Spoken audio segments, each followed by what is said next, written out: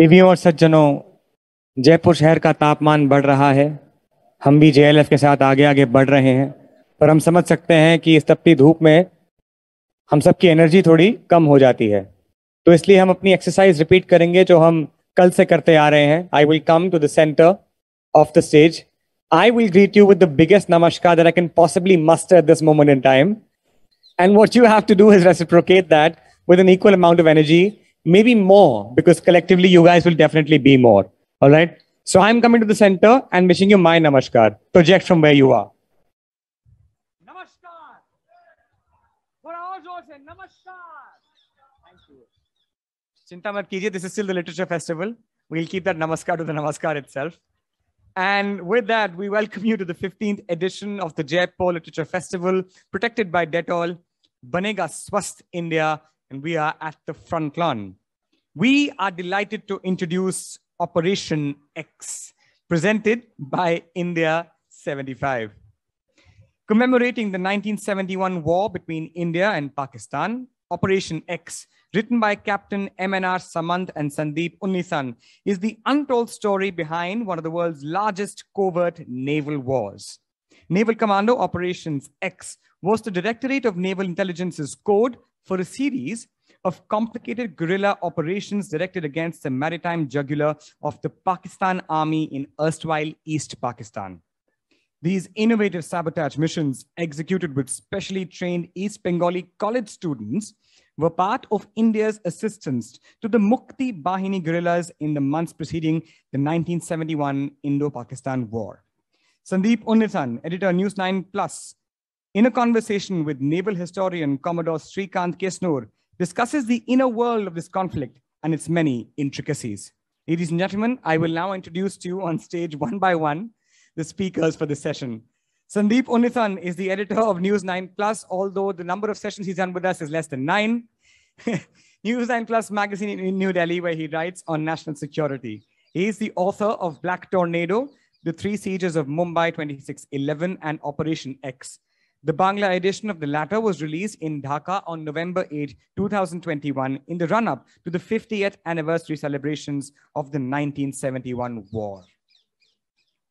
Our next guest, our next panelist for this afternoon is Commodore Srikant Kesnur, who, in his 36 year old career in the Navy, has commanded two frontline ships, done numerous operational and float tenures, a diplomatic tour of duty in East Africa, has been involved in teaching and training assignments, and has been involved in many outreach activities of the Navy. He has been the lead writer and chief editor of 11 Navy books and monographs, apart from many other publications. Currently, the officer in charge, Naval History Project, the CMDE, did his PhD from Mumbai University and has five other postgraduate degrees in sciences and social sciences. Ladies and gentlemen, this is the second time I'm reading out the biographies for both these two gentlemen, and each time I feel like I should just leave the stage and hand it over to them instantly. So, ladies and gentlemen, here we have Operations X.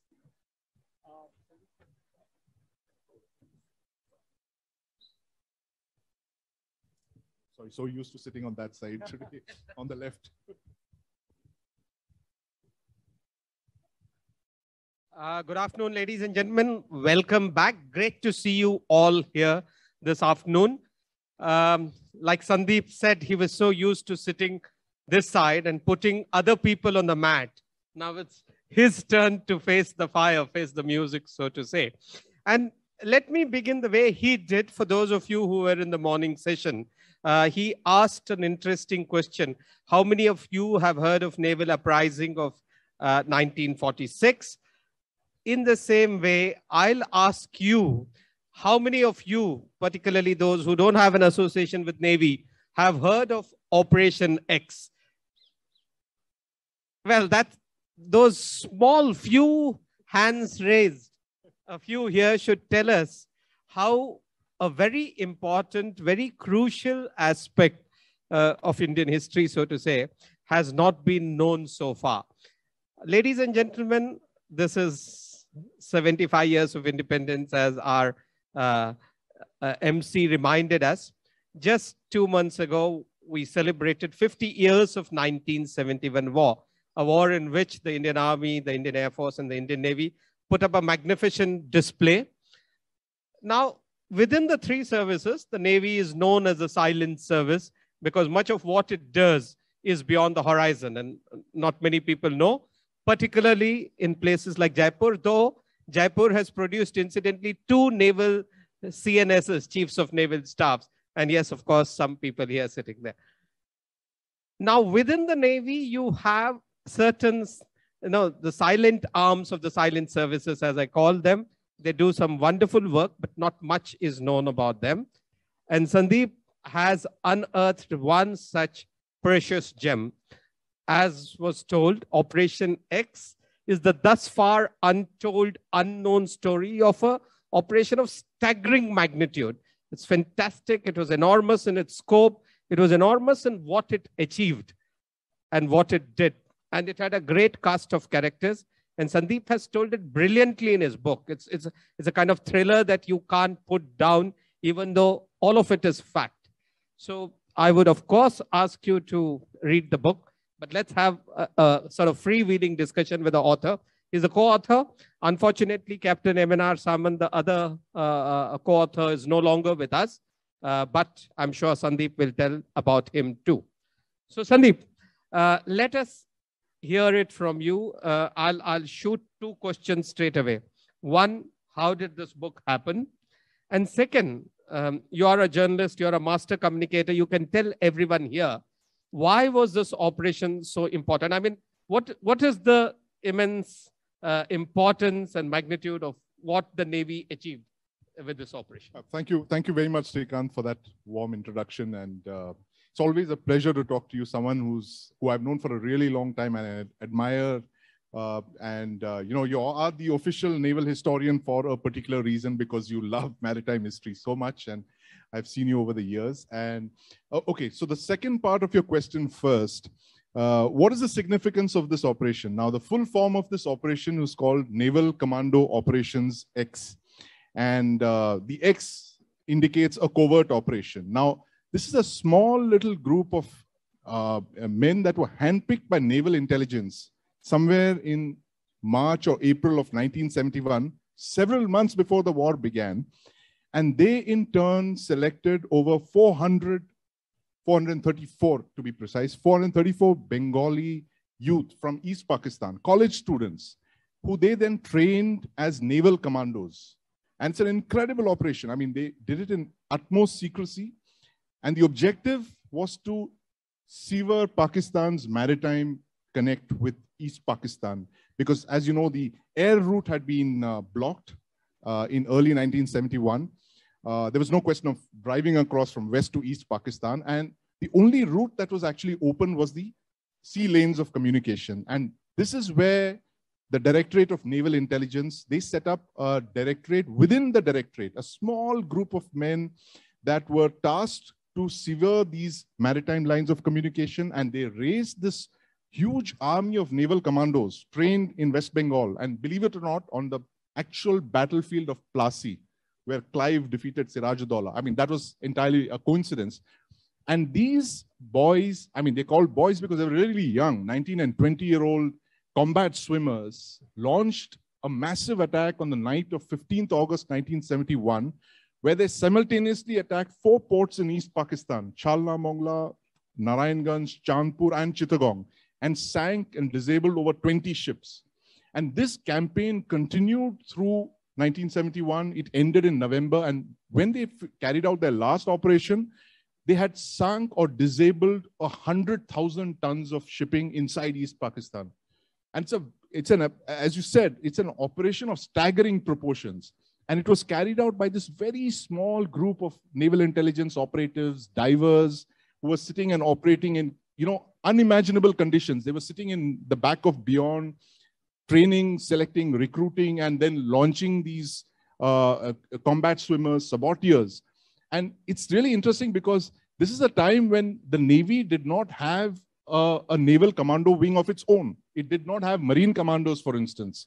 Uh, and in fact, this force went on to uh, recommend the creation of the, what we have as the Indian Naval Marine Commando Force today, the MARCOS. Now, this force between August and November, they sank 100,000 tons of shipping. And then November onwards, they raised, in fact, a little earlier on that, they raised a gunboat arm as well, which was again attacking merchant ships that were coming into East Pakistan. Now, it's really important to understand why they were doing this, because apart from severing the maritime lines of communication between West and East Pakistan, they were targeting the ships that were bringing in arms, ammunition, fuel, and supplies and food for the Pakistan army in East Pakistan, which meant that every ship that these diverse saboteurs attacked meant that uh, every ammunition ship that they attacked meant there were fewer bullets for the Pakistan army to shoot at the Bengali civilians and the Indian army.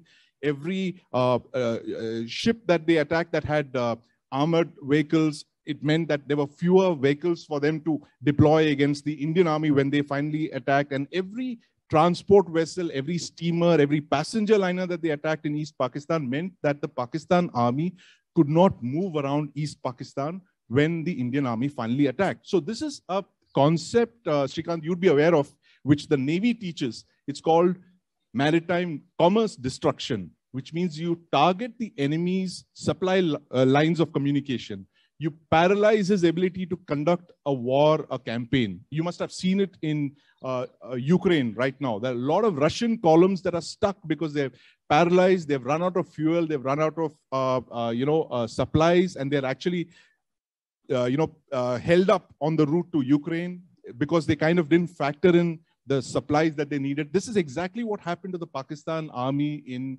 1971. And that is the, the huge, um, part that was played by this very small group of men. And in fact, they, that one operation the night of August 15th uh, is the largest commando operation carried out by any Indian force, where be it the army, navy, or indeed the air force.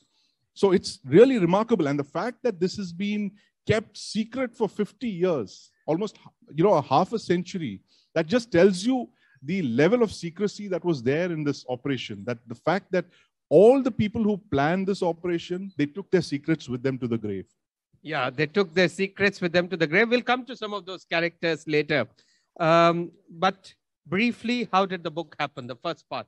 Can you just the, tell us that? The first part. Um, now, this is, believe it or not, a story that I'd been following for 25 years. Now, Admiral Mihir Roy wrote his memoirs somewhere in 1996 uh, on the 25th anniversary of the 71 war, where he mentioned these operations he said that the uh, Bengali uh, commandos were carrying out these operations and they sabotaged the East Pakistani, uh, uh, you know, the shipping in East Pakistan, paralyzed the ports.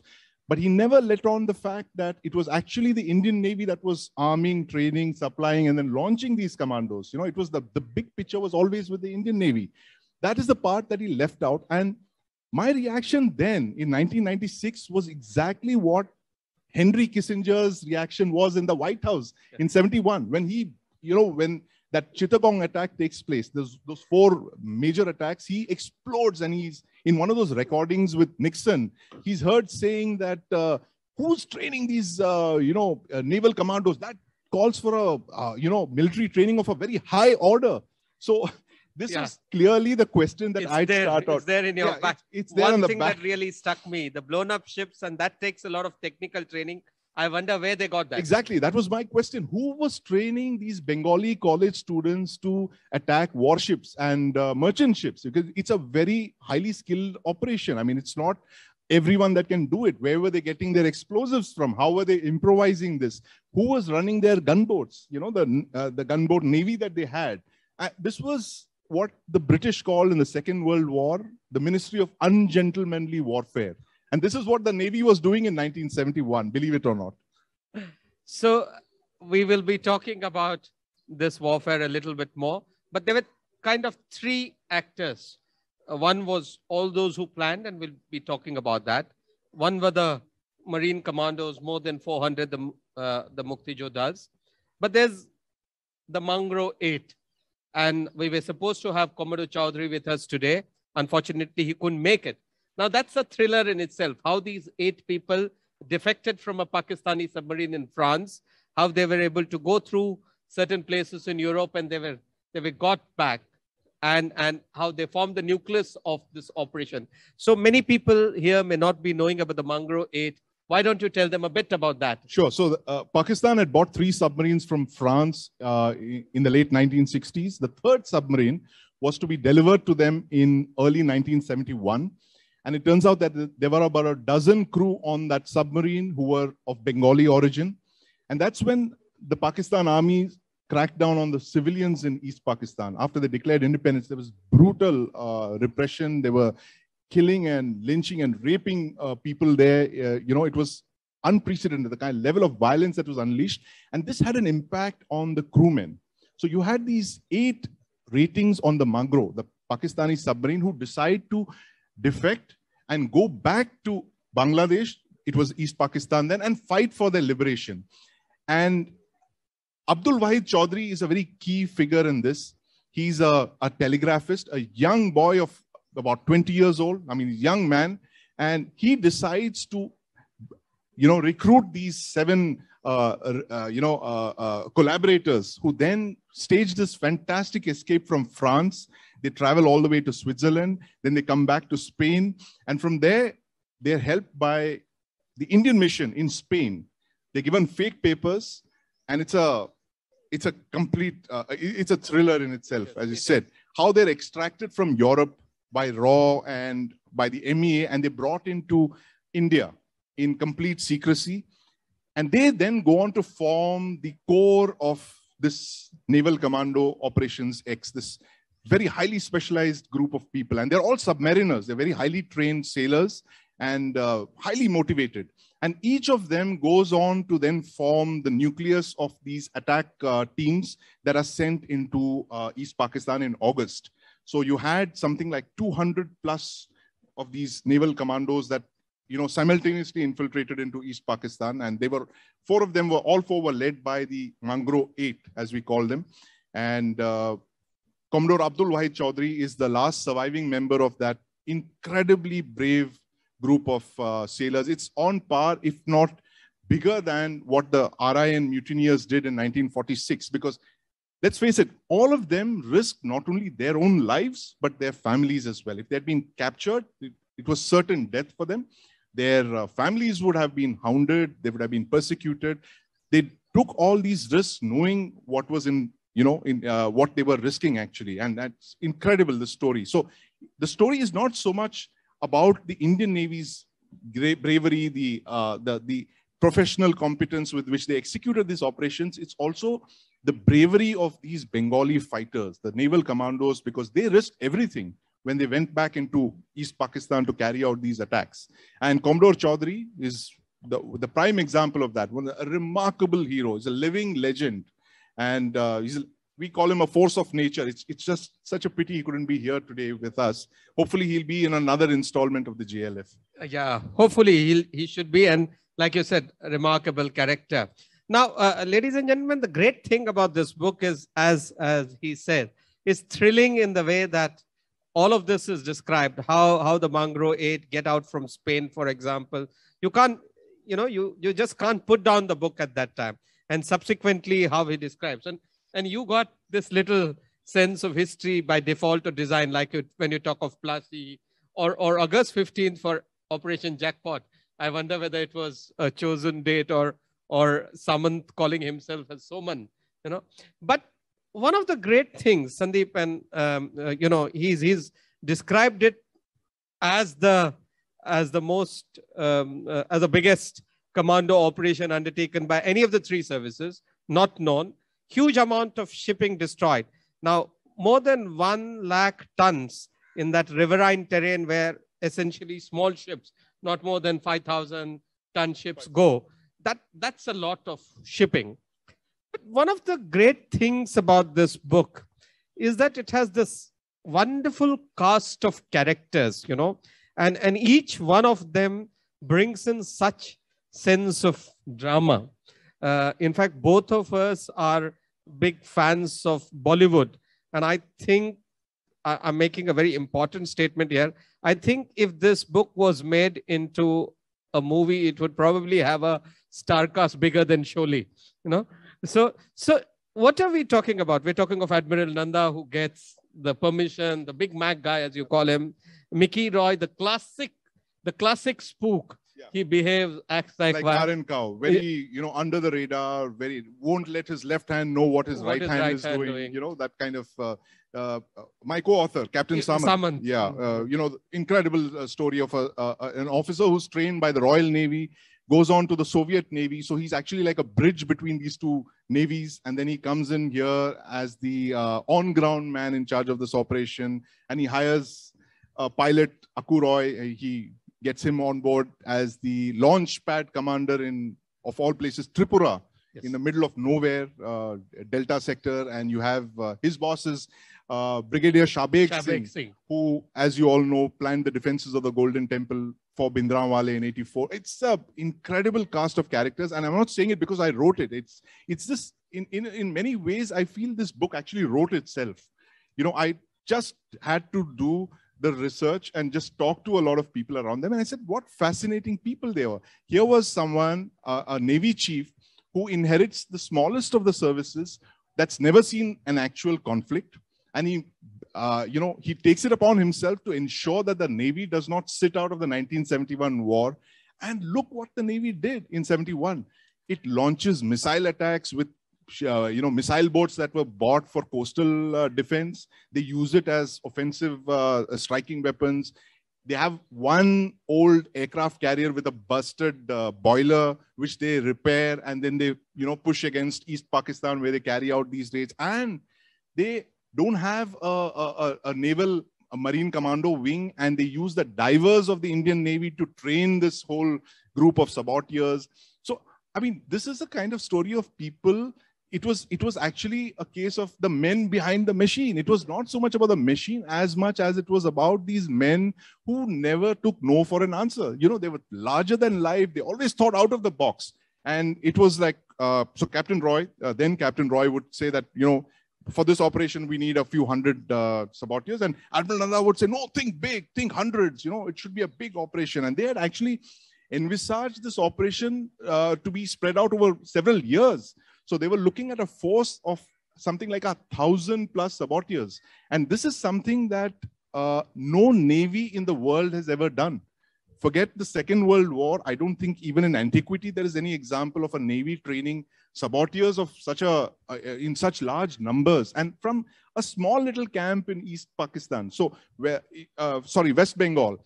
Now anyone who says that you know you cannot fight because you don't have the right equipment and you don't have this and you don't uh, you're going to only strike when you have everything in place and you have all the you know the fighter planes and the warships and the tanks and all that you only have to see what the navy did it did so much with so little so much with so little. And one of these great characters, Chiman Singh.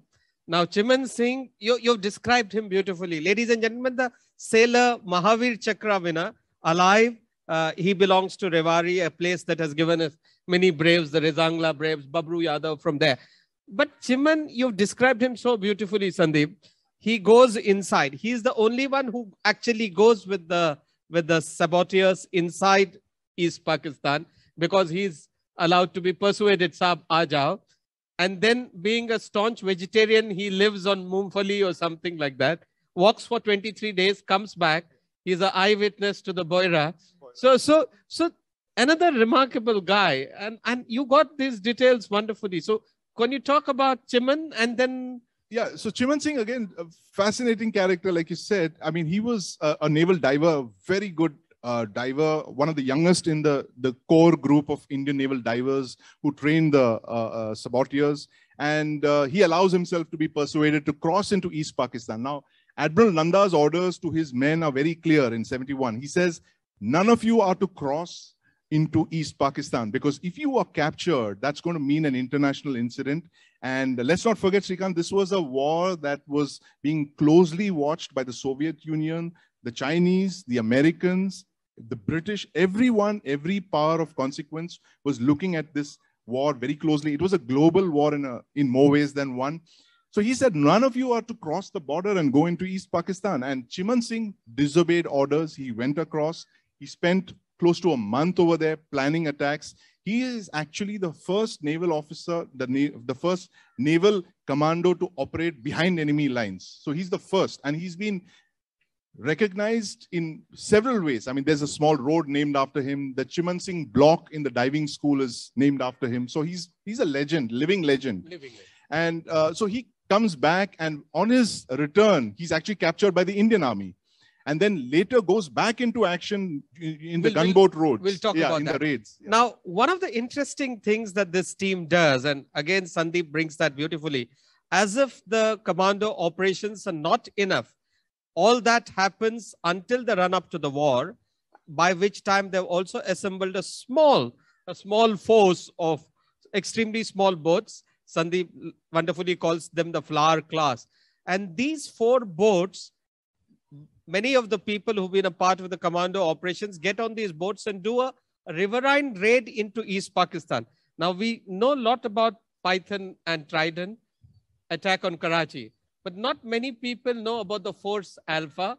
How and you you talked about how there's one of those rare riverine raids right inside enemy territory. Absolutely. It's So why don't you yes. tell about? So uh, Force Alpha, which is named after uh, Alpha is Aurora, General Aurora, and uh, so th- these uh, naval, uh, uh, the naval diving uh, team, the naval training team of NCOX, they actually operated under the Eastern Army Command of General Aurora. So they were not so much under the Navy as much as they were under uh, General Aurora's uh, uh, Eastern Command.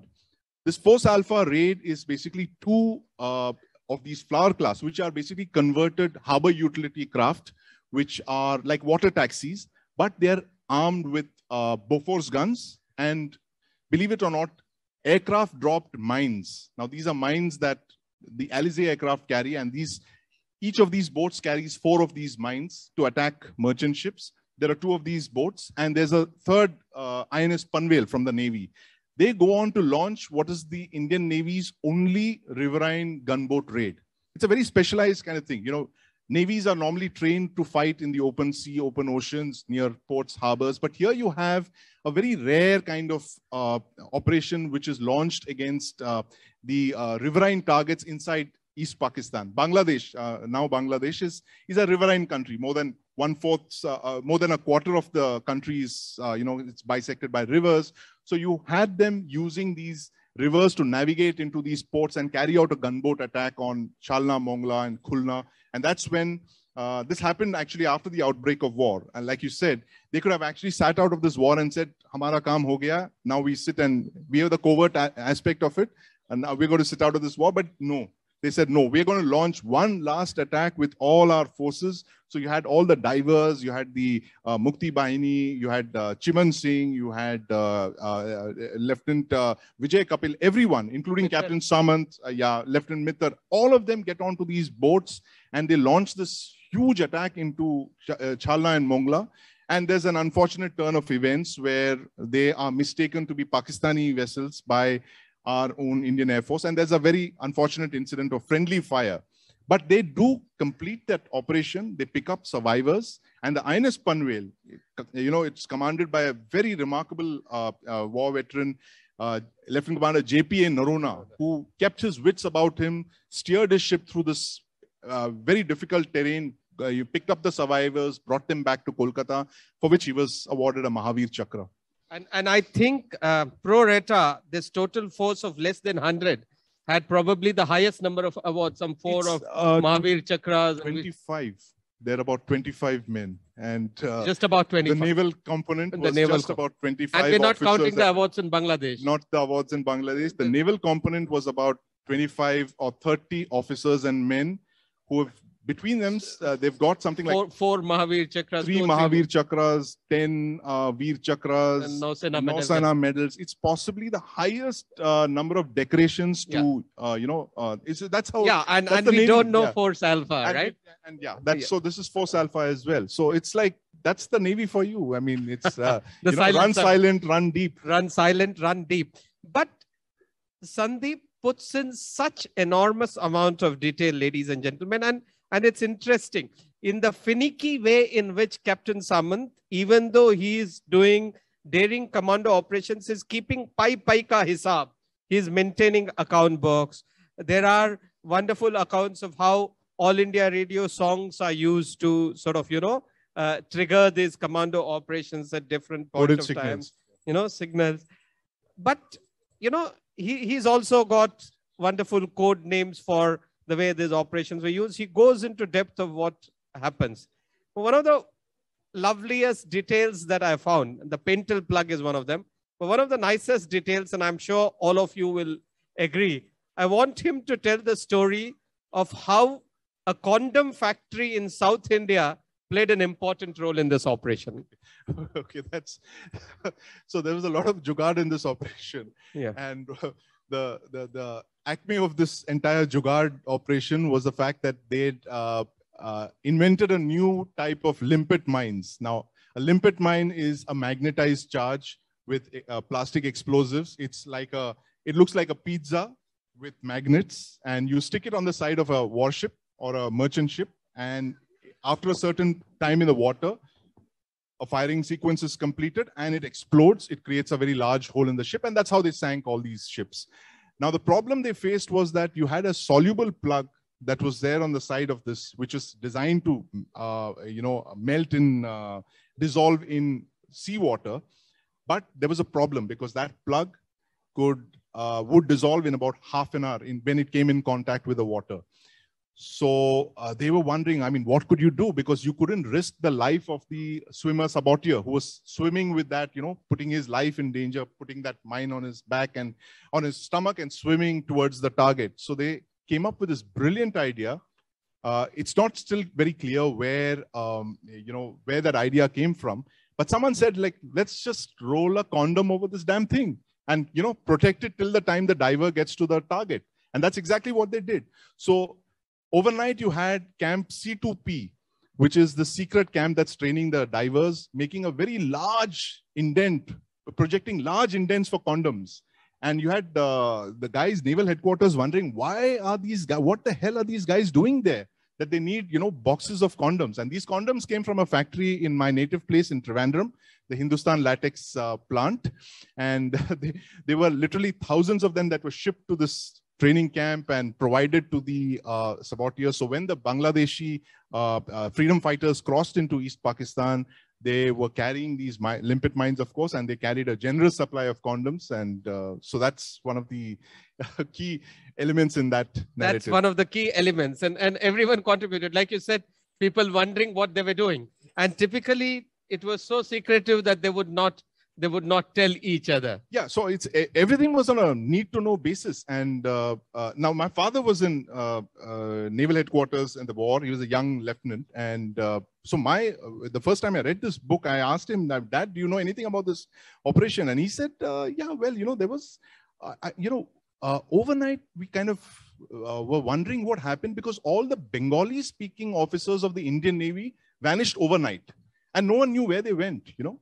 And this is within naval intelligence. No one knew what was going on because they had, like I said, within naval intelligence, they had created another little department which was kind of training the, uh, you know, the saboteur elements and stuff. So this is remarkable. And, you know, to my mind, the 1971 war, Srikant, 50 years later, we're still talking about this war. It's like a building at times. I think that it's a building where certain rooms and wings are illuminated, right? You know, there's there's a room there, there's a light there, but yet there are so many aspects of that. You know, there are so many rooms that are still hidden and that we're still discovering, you know, even half a century later. And this is one classic example of that, that you had this operation, largest of its kind, creates a flutter in the White House. Nobody knows about it. And even in India, once that operation has been carried out, they pronounce mission accomplished. They dismantle the whole thing. The tents are uh, packed up. Uh, the men are uh, sent back into their service, and they're all given their, uh, you know, these undertakings are signed that they will never speak about this, and that's it. Uh, you know, yeah, it's over. Th that's it. Till it came to light, at least some part of it, with your book 50 years later. Ladies and gentlemen, we'll be very, very happy to take certain questions. We got about 10, 12 minutes. So, uh, yes, uh, the front row and the gentleman in blue after that. Can I face the audience? Yeah, yeah, okay. That's, that's Major uh, Chandrakant. Uh, uh, I've been very lucky that I was an eyewitness to this operation. When the people infiltrated into Chittagong to blow up the ships, unfortunately, Commander Chowdhury, Commander Chowdhury is not here. They infiltrated through southern Tripura through my battalion.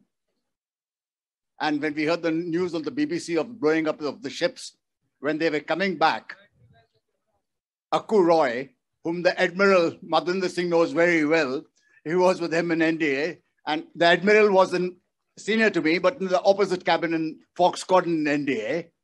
Akku was tall and fair looking. He didn't look like a Bengali because his mother was Estonian. So my men arrested him. They thought they were Pakistanis saboteurs coming in. We were in a place called Belonia, which is in southern Tripura, uh, closest to Chittagong.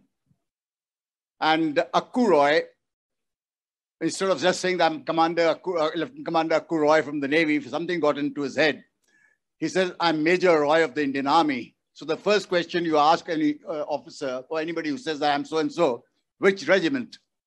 Akkus hadn't a bloody clue which regiment or anything. So I meant bash him up. They tied his hands and they brought him to me. So same question. He said, I'm command, uh, I'm Major Akku Roy. So I said, which squadron? No, which unit? I hadn't a clue. So I told him and I said, just soften him a bit. Then he says, hold it, hold it. Ask your men to go back. And uh, so I told my men to go back. Uh, but even in parting, they had given him a couple of rifle butts. Uh, Akku says, please ask them to go out of the room. A little hut in top of a hill. And he takes off his pants and drops them. And he says, see, I'm Muslim. I'm not Musalman. You understand what it means? then I said, yeah, okay. Now the thing is there. Then he opens up. He said, I'm not from the thing. I'm from the Navy. In India, I was a naval cadet, not good enough math, in math, so Admiral Sampson threw me out of the Navy, became an Army cadet. Uh, my colleagues in the Navy had served under him when he was a midshipman looking after the cadets. Major sir. Yes. Uh, the organizers are reminding okay, okay, us okay, of I'll less stop. time. I- I- But I, I must tell you, I, I learned about this too through your article. Uh, I think you had written in the Salute magazine, and I met you in Chandigarh, and you regaled me with this wonderful story. So it just tells us how many stories are there to be unpacked. Big cheer to the uh, uh, Major, sir. Uh, the gentleman in blue, the one who wanted to. Uh, short, please. Keep your question short. Yeah. Yeah, yeah, you. Yeah. Uh, thank you, sir, for the opportunity. In the era of uh, Russia-Ukraine conflict, how prepared are we uh, for uh, sanctions on US dollar trade uh, when compared to 71 era? That's out of syllabus for me. You can ask Sandeep. I- uh, do you do you really want an answer for that? I mean, this is I like think some- let's let's Yeah, we'll concentrate on just- the book and we'll just yeah we'll just keep it to discuss this separately. 1971. Let's keep it to this book and I'll this talk to you after this if you're okay with. Uh, the gentleman at the back there, yes. Hello, yeah. So I just wanted to ask because my grandfather was part of the SSB, uh, and he was also behind enemy lines on the on ground. So I don't know as much about the naval warfare, but I've heard a lot about uh, on ground operations. And so I just wanted to know: was there any connection, like either intelligence or even warfare, between the SSB and what they were doing, and then the you know the covert operations that the Navy was doing? Uh, yeah, that's what to. That's a very good question. And that's one of the biggest unanswered questions in my book. Because I still don't know, for instance, where they got the idea for launching these naval commandos, where that came from. And I can only guess because Captain Samant, my co author, was at a certain pay grade. And this operation was on a need to know basis. Uh, and he was the last of his uh, batch of men when he wrote that book. So there were many aspects of this operation which even he didn't know.